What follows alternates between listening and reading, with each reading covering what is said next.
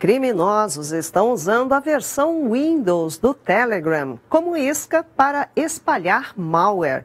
Fique atento e saiba como não cair em mais esse golpe.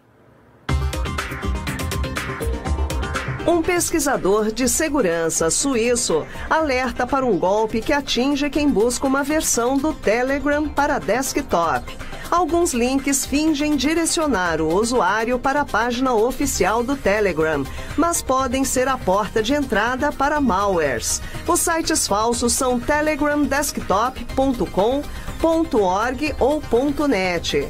Os dois primeiros são sinalizados pelo Safe Browsing, sistema embutido no Google Chrome que alerta quando um site contém malware. O último ainda está lá ativo e passa despercebido pelo sistema de alerta. Fique atento! O site oficial para download do aplicativo de mensagens para Windows, macOS e Linux é telegram.org. Quem usa o Windows 10 também pode baixar o app gratuitamente na Microsoft Store. Todo cuidado é pouco. E o que será o WhatsApp 2? O Twitter bombou nesta segunda-feira com o um assunto. Será que tem aplicativo novo vindo por aí? Descubra agora.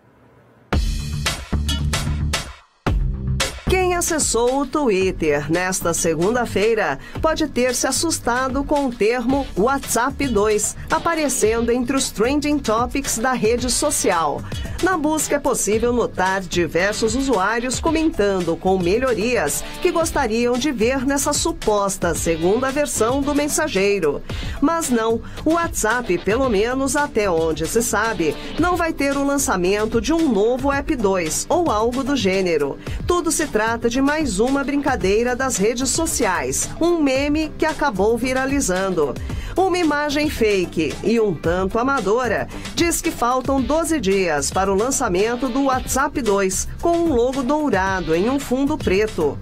Mas nada disso é real. Por enquanto, precisamos nos contentar com a versão padrão do aplicativo e esperar que as novas funções, já anunciadas, não demorem para chegar.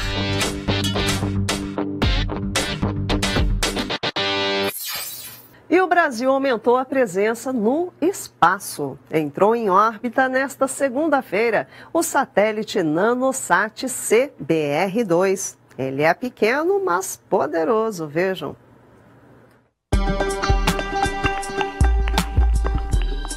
Nanosatélite brasileiro NanoSat C BR-2, que entrou em órbita nesta segunda-feira, foi desenvolvido pela Universidade Federal de Santa Maria, no Rio Grande do Sul, em parceria com o INPE.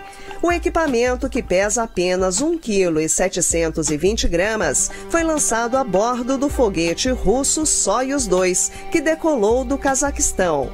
Agora, já em órbita baixa terrestre, o satélite vai monitorar em tempo real os distúrbios da magnetosfera terrestre, a intensidade do campo geomagnético e a precipitação de partículas energéticas sobre o território brasileiro.